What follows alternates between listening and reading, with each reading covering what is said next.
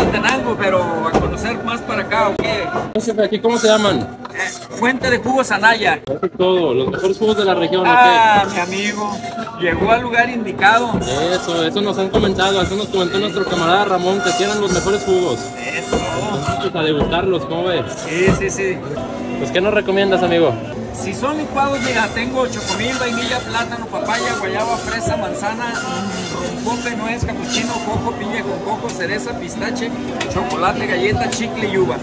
Y si es en jugo, naranja, zanahoria, para combinar con apio, betabel, jugo verde. Tengo hielo para ponerle a los jugos ahorita que está haciendo un calor endemoniado.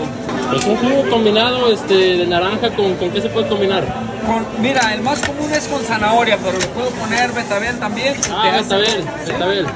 Dame un Red Bull, un Red Bull aquí para el amigo, que lo pruebe, que se ponga bien. Llevar amigo aquí mero. Para llevar, por favor. Y échame uno de naranjita también. ¿Cómo no? Mira, amiga. ¿Y ¿Como cuántos kilos te chutarás diario? O un, un día como hoy. O- hoy, es, hoy es un día bueno y mejor, como te quise decir, hoy se puso bien. Pero en un todo. domingo así normalón, que será como unos 60 kilos. No es mucho, ¿eh?